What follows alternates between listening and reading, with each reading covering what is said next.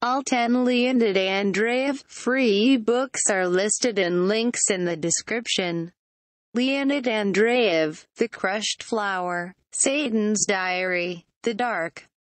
When the King Loses His Head, The Red Laugh, The Seven Who Are Hanged, The Little Angel, He Who Gets Slapped, The Shield. The Life of Man, Leonid Andreyev Books. Thank you.